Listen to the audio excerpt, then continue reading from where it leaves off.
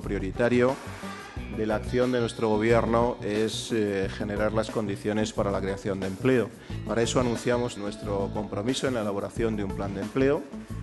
En ese plan, básicamente, incorporábamos un ambicioso programa de apoyo a los emprendedores y hoy tenemos la suerte de suscribir el segundo instrumento financiero de apoyo a este plan. En este caso, suscribimos un convenio para poner a disposición de esos emprendedores 25 millones de euros a través de préstamos que podrán obtener los emprendedores que presenten un proyecto que sea viable y así sea evaluado por los servicios de empleo y que estará avalado por Aval Madrid. Esta línea de crédito va a beneficiar este año, esperamos, a más de 500 emprendedores y eso debe de servir también para crear más de 1.500 puestos de trabajo en nuestra región con estas iniciativas.